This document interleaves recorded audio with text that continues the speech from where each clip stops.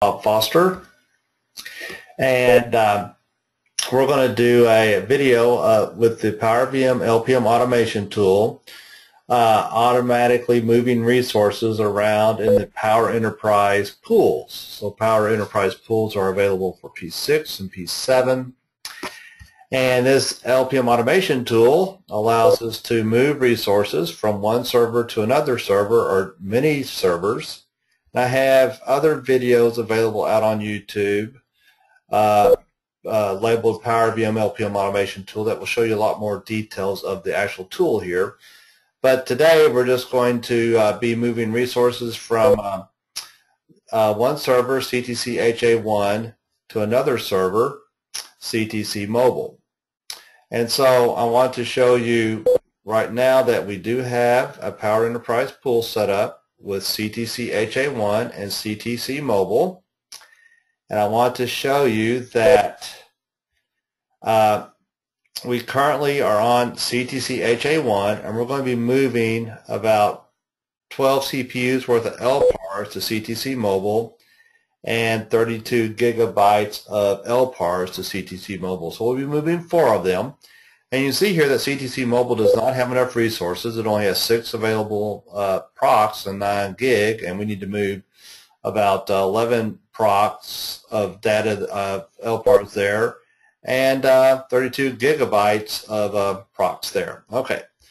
So the LPM automation tool, that's where I'm going back to. Sorry to flipping around, but I wanted to show you sort of the state of the machine. So we'll do next.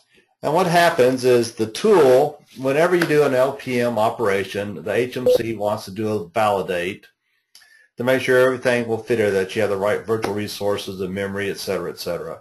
And the tool does the same thing. We'll do a validate first, and once we figure out where everything can fit, uh, we can then uh, bring pull up our placement panel. And so we go here next. So everything validated successfully, which is good.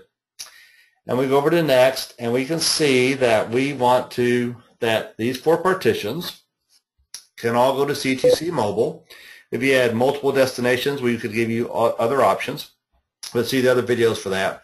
But right now, CTC Mobile doesn't have enough resources to accept these four partitions. So it's showing these, you know, it says I need five more CPUs and I need 27 more gigabytes of memory.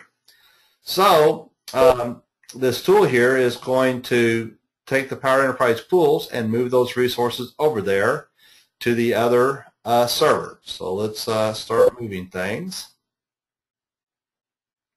And now this takes a little bit of time. It takes uh, two or three minutes. I want to keep this video short. So once we get some things rolling here, I'm going to pause it and then we'll resume it here in a, in a second or two after uh, it starts moving stuff. So that one's, you know, we already got some processes going on here, some LPMs are going. So let me pause it here, keep the video short. See that the LPMs are going on right now and uh, moving resources over for us. So um, one's already completed. We got uh, three that are still currently going. So I'm going to pause it a little bit longer here.